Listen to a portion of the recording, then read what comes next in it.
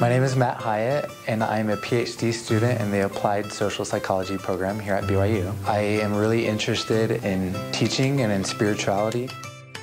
For my dissertation, we found two professors here at BYU. One of the professors had uh, a lecture on exercise science, while the other professor had a lecture on the First Amendment. Two very different disciplines and two very different topics, but we wanted to see can they implement spirituality in this discipline. We brought them in and, and took them through a preparation session where we prepared them to teach the same material but using different aspects of spirituality. After that preparation session, they then went and taught different groups of students on these aspects of spirituality and we measured how students perceived their experience.